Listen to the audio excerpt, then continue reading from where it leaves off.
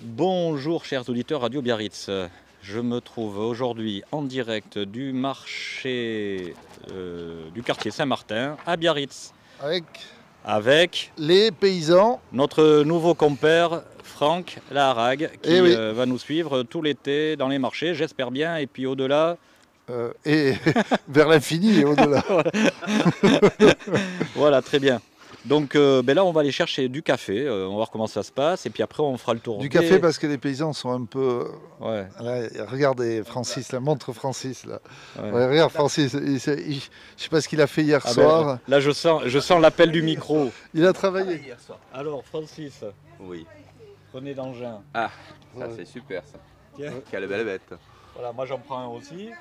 Alors Francis. Ah ouais, Oui. alors il faut faire. Alors le problème c'est qu'il faut. fais pas les euh, zooms, hein, tu vérifies la. Ouais, ouais, Il faut vérifier le. Fais, fais pas Que ça de soit zoom. droit. Ok, alors là, je délègue à Franck, je suis content parce que je vais comme me ça. lever ça- quand même. La moindre des choses. Ah ben ouais, parce que là Non, sinon l'impression- c'est- je vais falloir que je, je me. Bon. Alors, bonjour Francis. Bonjour.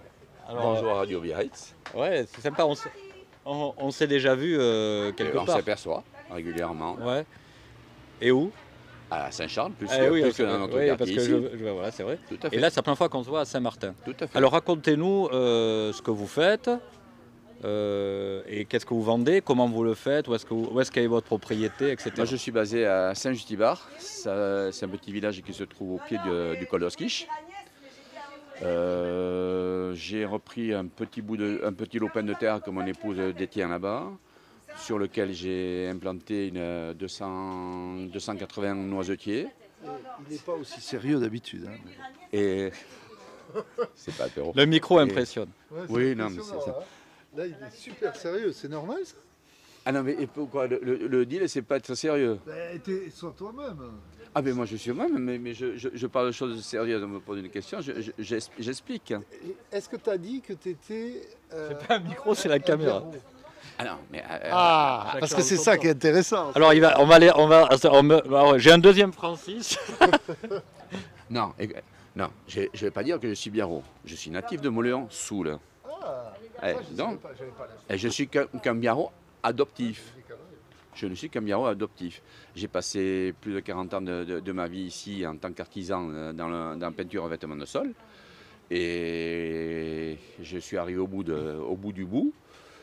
J'ai arrêté à 55 ans, puis euh, je, je me suis dit, qu'est-ce que tu vas faire après? J'ai bataillé. jeune maraîcher, en fait. J'ai bataillé pendant 4 ans, 5 ans, puis à, à me poser des questions. Puis je me suis dit, l'open de terre que détient mon épouse, eh bien, peut-être que ça vaudrait le coup de le rentabiliser, d'en faire quelque chose. Voilà. Donc je suis parti sur mon deal avec des noisetiers. Avec les noisetiers, que je, je- je me suis dit, le jour où tu auras des noisettes, qu'est-ce que tu vas faire des noisettes? Il falloir que tu ailles les vendre. Et, euh, et- et tu vas attendre 5 ans pour que les noisettes arrivent. C'est un peu long, surtout à, à 60 ans. ça passe vite. Et donc, qu'est-ce que je fais Les noisettes ne suivent plus à 60 ans? Non, c'est pas ça, c'est qu'à 60 ans, quand tu attends 5 ans, ça, te fait 65. Hein. Ah oui. C'est pas la première jeunesse quand même. Parce que pour les ramasser, elles sont par terre. hein. Et donc, ben, je me suis dit, bon, je vais mettre des poules en attendant, puis je fais un peu de maraîchage. Voilà, et ça, ça, ça fait que, ben, ouais, voilà. Je fais quelques herbes euh, pour, pour faire des, des- des tisanes, des choses comme ça. Des œufs, donc, puisque j'ai poules pondeuses, du jus de pomme, parce qu'il y a des pommes. Alors voyons un peu tout ce qu'il a Et sur l'étalage. et, euh, je crois Voilà. que tu es en bio. Et je suis en bio. Ah, En bio, en c'est bio, c'est important. Oui, je suis en bio depuis le départ, compte tenu que c'est un terrain que- qu'on détient depuis une vingtaine d'années et que- que- qu'il n'y a jamais rien eu dessus. Quoi. Voilà, Et tu es d'entrant. certifié bio. Et certifié bio, tout à fait. Ouais, ouais. Tout à fait. Et donc tu appartiens au réseau, à un réseau local de fermes, je crois? Euh, J'ai été euh, aidé par, par Blé, qui, euh, qui est un, un réseau euh, bio euh, local qui est, qui est basé à, à mon, ma tête va me, me perdre. À Stabat, voilà, j'étais en train de chercher le nom du, du- du village. Voilà. Et donc ils m'ont donné un coup de main au départ pour, pour, pour, pour- pour me mettre en place. Voilà. C'est tout. Alors, est-ce qu'on peut, on, on peut regarder un peu filmer de tout l'étalage là, de près Oh, euh, mo- moi, mon étalage, c'est on sur un peu de là. On commence à la saison. Quoi, voilà. Alors, qu'est-ce que. Ah non, mais j'ai pas de micro. Là, là, ce sont des, des- des- des- des herbes pour les tisanes. Voilà, de- vous avez de la, de la verveine citron, de, de- de la menthe, de, de la mélisse, de la camomille. Voilà. Après, euh, vous avez des blettes, Ouais. le jus de pomme fait, euh, euh, Maison. que, que je fais, ouais, tout à fait, que je presse. Les œufs de, de- les œufs de, les œufs de mes poules. Euh, euh, oui, les- tes poules. Alors, euh, tes, tes poules, euh, euh, elles ont des gros œufs. Parce que c'est des vieilles poules ou c'est Ah, parce que c'est des moi, jeunes les- Moi, celles que j'ai, oui, je me suis attaché à mes poules et donc, elles, ont, elles ont deux ans déjà. donc elles pondent un petit peu moins que, que, que- que les nouvelles, mais il faut, il faut les changer euh, au fur et à mesure. D'accord. Enfin, moi, c'est mon principe. J'en change euh, par, par 20, par, par 30. Mais j'ai une centaine de poules maximum. Ouais. Euh, sachant que c'est combien euh, les, les d'habitude euh, un, un gars qui a des poules et qui veut gagner sa vie avec Ah. des poules? Une, une base de poules, moi, moi, le premier voisin qui, qui travaille, qui fait de la volaille et, et des œufs, euh, lui, il a 450 poules. Ouais, voilà. Voilà, et, il a de la volaille, il y a à peu près 450 ou 500 têtes de, de, de, de- de volaille. quoi. Voilà. Et en, en- en complément, il fait, de- il fait des confitures. Et ça veut dire que toi, avec 100 poules, tu c'est un petit truc en plus que tu fais. euh, Voilà, non, moi, c'est- je suis en train d'e- d'essayer de, de me prouver qu'avec le, le- le- le peu de, de superficie que j'ai, je peux réussir à faire euh, en sorte qu'une personne puisse, euh, puisse survivre. L'autonomie. L'autonomie, non, mais l'autonomie, oui, financière aussi. Ah ouais. tout. Voilà. Ouais, Non, finance. mon, mon ouais. but, c'est de, de- de rentabiliser mon, mon affaire sur 5 ans, de voir où, où je suis, pour voir si ça peut donner un salaire à, qui sait, peut-être à l'une de mes filles. Ah ouais. Voilà. Eh, ouais. Elle, elle t'aide, ta fille? Une de tes filles là, Il y en Non, a mais une? j'en ai une qui est très branchée sur, le- sur les herbes, sur, tout- sur le, le- le maraîchage aussi. Elle aime bien, c'est un, un truc qu'elle aime bien. Voilà. Bon. Alors on continue. On a vu les œufs. Ça, c'est Les petits pois. petits pois. Les Et petits pois. petits pois de Alors- ces, petits pois, euh, comment tu conseilles de, de les manger, toi? Ah, moi, moi, les, les- les petits pois, généralement, on mange, on mange ce qui est à l'intérieur. hein, on est bien d'accord. Ouais. Mais alors, il y en a où on mange, on met tout en Le même mange on- tout. Le mange Le tout. mange tout. Mais c'est des petits ça- pois ça, aussi, les mange ça- tout. Ça, c'est fini là. C'est fini. Bon. Oh, la belle surprise. Hop, on va cacher celui-là. Non, mais non, ouais. C'est filmé de loin. hein. bon, tu as, une cliente là, peut-être on va te laisser. Voilà, les euh, petits pois, c'est ça. Voilà. Madame, vous, vous êtes pressée Non, mais si vous voulez parler, hein, vous pouvez. Et vous, conna- vous connaissez Francis euh, depuis le début? Pardon? Vous êtes venu vous Oui, êtes- oui, oui. Oui, depuis. Ah le début. Ah parce que là, vous avez vu, c'est Radio Biarritz. Et euh, on est sur les marchés pour euh, justement savoir ce que, comment vous vivez ça. Ah ben, très, très, très bien. Moi j'habite en face, donc c'est face? pratique hein. Là-bas, de, la- Oui, de l'autre côté de la rue. de l'autre côté de la donc rue. c'est- Donc pas- pratique. C'est qui moi qui un poissonnier là Oui, alors ce poissonnier, que- il va revenir Ah, Fantomas, moi je l'appelle. Fantomas. Moi je l'appelle Fantomas. hein. Eh ben, on, fait euh. un appel, revenez poissonnier, euh, allez-y. Non, mais on, a fait la demande auprès de la mairie, mais bon, Oui. le problème c'est que c'est pas, c'est pas, la mairie, c'est l'intermédiaire. qu'ils ont, ils ont des problèmes. Hein. Ah, pas- peut-être, ouais, ouais, ouais. Ils ont peut-être vendu, ils ont peut-être, j'en sais rien. On n'en sait rien, on ne nous tient pas informés. c'est toujours- Mais Radio Biarritz est là Oui, pour vous te c'est dire le informé. principal. Et, et on va réussir à le J'ai savoir. contre Des, œufs- des œufs très frais. Euh, coquettes. Bon, des œufs très frais, ils ont Voilà. été euh, ramassés quand? Ils ont été ramassés hier. Hier. Hier pour l'instant. À quelle heure? Oh, hier, euh, euh, 16h. 16h. Donc ils Ouais. ont. euh, On peut les faire à la coque. on peut les faire à la coque. Pendant combien de temps on peut les faire à la coque quand ils ont été Moi ramassés je dirais une huitaine de jours. 8 jours. Bon. N'oublie pas qu'ils vont rentabiliser. De 32, 50. Bon, alors vous êtes content de, de- de ce petit marché et en particulier de Francis, j'ai l'impression. C'est le premier que vous allez Voilà, voir, hein, Francis. hein. Merci. C'est ça, hein, c'est en premier Francis, j'ai cru C'est combien de 53 De 30. 30, C'est ça De 30. De 50. 50. Ah ouais, si, c'est si ça. je, si perturbe le, le rendu de mon nez, Oui, c'est foutu. Merci. Oui, pardon, Non, je non, vous non. ai coupé. je vous laisse, je, je vous embête pas. Bonjour Bon. les enfants. Merci. Merci beaucoup. Bonjour mademoiselle, tu amènes les, les- tu, as, tu amènes les petits euh, les petites boîtes à œufs Oui. Tu les as mangés Non. Qui les mange à la maison les œufs Toi Oui. Ah oui Tiens. voilà. Et, euh, et alors, euh, toi, t'aimes pas les œufs Si, j'adore. Ah. Et euh, ok. Bon. Et alors, tu le connais lui Non. Tu lui donnes des boîtes à œufs euh, Bon, c'est ma mamie qui m'a dit de le faire. Ah ouais. Oh, c'est ton mamie alors. Et, euh, et les autres t'aiment vraiment pas. Bon, et qu'est-ce que Bah tu as si, j'adore. Ah, ouais. Elle, elle aime la coque et moi, la poêle. Eh, j'aime tout, même... euh, Alors attends. Je vais. euh, oh, c'est toi qui interviewe ta sœur. Demande de lui euh, ce qu'elle préfère comme œuf. Tu préfères quoi comme œuf Les œufs brouillés. Ah, brouillé. Alors, euh, on va voir ta grand-mère, elle est où? Là-bas? Là-bas. Ah oui, on va aller la voir. On va aller la voir. Bon, Francis, on va revenir. Hein Tout à l'heure. Alors, on a des, des- des jeunes euh, reporters. Bonjour, on- vient voir la grand-mère. Ah, On est ben Radio Biarritz. oui, bonjour. Bonjour, alors euh, on se connaît. Mais on est du même un- quartier. Voilà. Vous étiez venu à la fête des voisins On est venu à la fête des voisins avec les enfants. Hein C'était bien. Et ils viennent de m'avouer qu'ils ont marché dans les tuyaux, euh, dans les tuyaux qui sont entreposés là, qu'ils ont fait. euh, Dans les tubes, dans les gros tubes. là. oui. Le rez-de-chaussée, le deuxième, le premier étage, Oui, le premier étage. Et alors, c'est quel quartier, vous? Quartier Beau Soleil. Beau Soleil, parce qu'ici, euh, c'est le quartier Saint-Martin. Oui. Mais dans le quartier Saint-Martin, il y a des quartiers, c'est ça? Dans le quartier, euh, le quartier Saint-Martin, ben oui. C'est Ici, c'est le le du- centre commercial ici, c'est là qu'on vient euh, pour la pharmacie, pour le marché. Et autour, ben, c'est des quartiers périphériques. Non, mais votre quartier, Oui, c'est le mien aussi d'ailleurs. Euh, quoique moi, c'est pas la même rue. non Euh, votre quartier Beau Soleil, c'est le fameux quartier qui en ce moment est, euh, a des petits soucis là. ben, De tuyauterie, oui.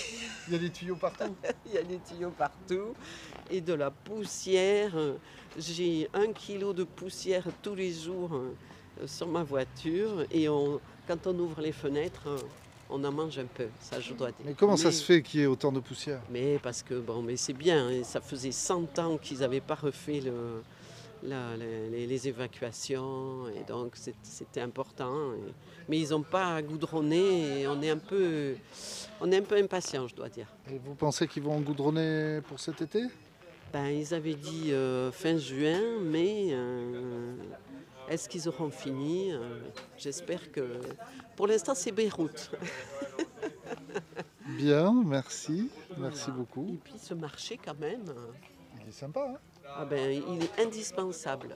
On ne peut plus s'en passer. Ouais. hein, parce qu'il y a de, que- que de très bonnes choses, avec des gens super sympathiques. Et, et, euh, euh, voilà, moi je viens tous les mercredis et je mercredis. peux plus imaginer ne pas venir. Voilà. Hein Est-ce que vous savez, est-ce que vous savez comment écouter Radio Biarritz? Non. Alors, c'est une web radio, radiobiarritz.fr. Radio... Alors d'accord. Il faut, Oui. voilà, et donc on écoute, il y a de la musique 24 h sur 24. Ah, Les vidéos passent en direct sur le site internet. oui. Et vous pouvez retrouver, revoir les vidéos sur YouTube, Radio. Biarritz. Et elles ont des noms ces vidéos Elle ou s'appelle, oui, on mettra euh, euh, Le bah, marché, quartier Saint-Martin du euh, jour, euh, voilà, avec, Avec la date. la date, etc. Oui. Vous allez voir, il y a déjà plein plein de vidéos. euh, Et là, c'est en direct. hein. et là, on est en direct sur Radio Biarritz. Ouh, alors, Oh, on se quoi, ça change tout. Ça change tout. C'est en direct là. Hein Ouais, mais ça impressionne pas les enfants. non, euh. non, les, enfants, super ça les impressionne Ils sont pas. super. Et moi non plus. Bon, Bon, allez, on fait le tour. mais Alors, À on a sur notre petite table. des C'est trop mignon. On, chercher- voulait y aller, mais euh, Merci. il y a eu plus rapide que nous. À bientôt. Allez, on fait, euh, on a le café. On fait un petit tour là. Tiens, on regarde. euh, Allez, allez. Mademoiselle, Et après, on va boire notre café. On continue. Bonjour. bonjour. Alors vous, c'est c'est le pain. Voilà. Attendez. C'est le pain et c'est. euh, Prénom, nom, numéro de téléphone, adresse. ouais. Non, non, vous êtes en direct. alors attention. Alors moi, alors déjà, euh, je peux dire que moi, je suis un, commerce, euh, un consommateur de ce marché et je suis tombé fou amoureux du pain de, de, cette, euh, de ce boulanger, de cette nouvelle entreprise euh, qui n'est pas du quartier, mais qui est pas loin, qui est le quartier d'Irati, je crois. Voyons. Tout à fait, tout à Qu'est-ce fait. que, parce que vous connaissez quand même mieux que moi.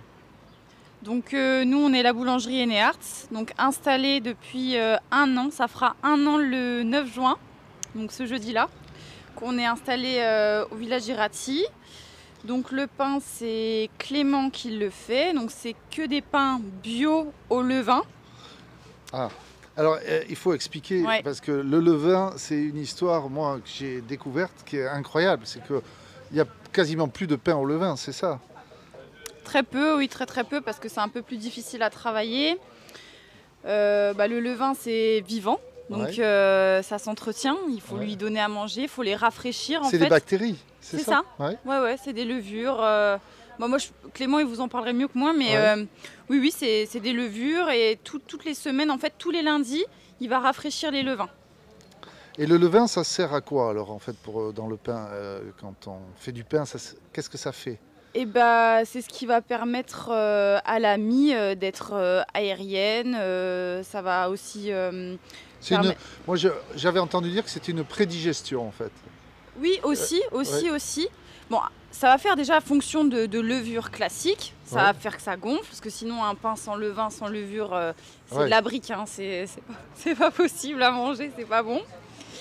Et euh, oui, après, il y a plein de qualités euh, nutritionnelles, digestives. enfin, pour la santé, c'est beaucoup plus intéressant, quoi. Oui, parce que ce pain au levain, de ce que moi j'ai compris, c'est que c'est un pain qui, euh, qui est très très digeste quoi, en fait, Mhm. Mhm. par rapport aux autres pains, parce que les bactéries ont joué ce rôle de, de, Oui, de, oui, le, le côté. de fermentation, de, Ouais, de- ouais. du glu- c'est avec le gluten, je crois que ça fonctionne. Euh, Bon, ouais, on là, rentre trop dans les ouais, détails. là, là, là, on va tout mélanger. Attention. Non, en fait, Alors, euh, oui, Oui. pardon. en gros, pour euh, comprendre déjà, c'est qu'on dit pain au levain, mais il y a plein de levains. On peut faire du levain avec tout. Nous, à la boulangerie, on travaille avec quatre levains. Donc un levain de blé, un Ouais. levain de seigle, un levain de petit épeautre pour le gluten réduit, justement, pour Ouais. les pains qu'on veut avec très peu de gluten, pour les, des personnes qui, qui ont des régimes euh, à gluten réduit. Et un levain de riz pour les sans gluten, sans gluten. Voilà. Et sur l'histoire de prédigestion, tout ça, Ouais. là, ça va être sur de- des levains de seigle. En fait, le seigle va vraiment avoir une capacité euh, de, de prédigestion, de, voilà, pour, euh, pour aider, euh, voilà. Alors, il y a un pain que j'apprécie particulièrement, euh, vous pourrez nous en parler, c'est celui-là, là, le, Le pop. Le, le pop, oui. Celui-là, euh, céréales et pop euh, classique. Quoi. classique, C'est des variétés anciennes, je vois là. c'est ça. Alors, Alors, pop, en fait, ça veut dire population de blé ancien. Donc, Ouais. ça va être un mélange de blé qui vont être directement semés ensemble dans le champ. Donc, c'est pas un mélange de meunier, hein, donc c'est des graines semées tout ensemble dans le champ. des, des graines différentes. Des graines différentes. Il y a environ euh, 12 variétés de blé euh, différents. Voilà, dans ce Dans pain. ces deux. Ah dans ouais. ces deux pains-là. Et alors, ouais. qu'est-ce que. euh, euh, c'est un peu. c'est- Qu'est-ce que. c'est- quoi l'originalité d'avoir. euh, Parce que d'habitude, c'est des champs où il n'y a qu'un seul type de blé. Tout à fait. Là, il n'y a que des blés différents ouais. euh, semés. Et euh, qu'est-ce que ça apporte, quoi, en fait euh, Bah, pour la biodiversité, déjà, c'est intéressant Ouais. parce qu'on n'est pas dans une monoculture. Donc déjà, c'est pas de la monoculture, c'est des blés anciens, donc qui vont être moins productifs que les blés, on va dire un peu euh, conventionnels euh, qu'on a aujourd'hui pour. euh, Et tout, tout ça, ce sont des blés anciens. Tous vos pains sont faits quasiment tous. hmm, pas tous, en fait, ça va être plus sur ce, ce côté-là. D'accord. Là, on est vraiment sur des blés anciens. Et après, là, on est plus sur du traditionnel. Donc, euh, notre pain de base, euh, c'est du campagne. C'est de la farine de campagne, c'est du T80. D'accord. Ah, c'est le téléphone qui sonne Ouais. Ah, mais on, peut... Et, on est en euh, direct, vous pouvez répondre en direct. hein. non, il y a pas de souci, je rappellerai après. On est en direct sur Radio Biarritz. Sur, euh, oui, euh, Oui. Je, je voulais dire radiobiarritz.fr. Il faut Mhm. aller sur le site. Ou sur Twitch aussi. Donc là, on peut, on peut s'écouter, en fait, on peut s'écouter alors. Ouais, ouais. Ok, ok, c'est cool. sur radiobiarritz.fr. Ok, ok, Voilà. c'est assez fou. Voilà. Bon. Et euh, vous faites aussi autre chose que du pain. Il y a des petits croissants, des. Des petites viennoiseries, on fait des brioches. Là, pour l'été aussi, on va faire des petites quiches euh, salées. Bon, là, j'en propose pas sur ce marché-là, mais au magasin, il faut venir euh, Et vous êtes là découvrir. tous euh, les mercredis. Et on est là tous les mercredis. Waouh. Moi, je le sais, moi, parce que je viens tous les mercredis. Ouais, ouais. Et d'ailleurs, Yes. vous me réservez un petit pop euh, céréales. ok, ça marche. Je vous mets ça de Hein côté. Merci. Merci beaucoup. Euh, euh, oui, à toutes. Je récupère mon pain à moi. Merci. C'est pour bénir Bon, le pain. le On pain continue, mais on reviendra, on n'est pas parti. hein, On Ah ben. reste là jusqu'à. Alors, quelle on va- heure on va Jusqu'à boire- quelle heure on reste là Midi Midi et demi Une heure. Alors on va boire le café et puis on reprend. Allez, le on va boire le café. Allez, je fais une petite pause directe là. Hop. Ou alors on le boit en direct. On, le on le bon direct. Allez, on boit reste le en café en direct. Il y, a des, il y a des gens ou il n'y a personne? Bah, on est toujours un. C'est qui? On sait qui c'est? Euh, ben, je sais pas. On On est verra. Sur Twitch. Merci. Ah, putain. Après, euh, les, les vid- les vidéos se regardent euh, après coup. hein, Ouais, je sais. parce que les heures sont pas souvent évidentes. Voilà. Allez, Bon. bon, j'arrête. euh, on se boit un petit café. Mais n'arrête pas, monsieur, là. Voilà. Non, mais on va, on va couper. On va faire plusieurs petites séquences. Ah oui, c'est pour les vidéos. Pour... Voilà. Ouais, Bon, ben, euh, à tout de suite, les amis. On boit le café. Bien sûr, on est toujours en direct. Ils nous ont offert le café, donc euh, moi